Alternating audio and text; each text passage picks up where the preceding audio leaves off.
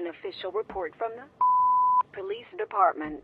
We have received reports that a criminal is in your local area. Unfortunately, the phone service will be down for repairs.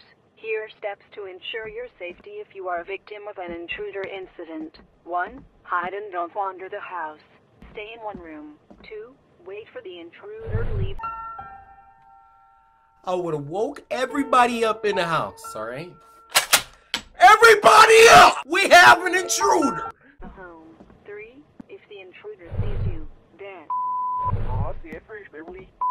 I hope you are now prepared for when you are in an intruder incident.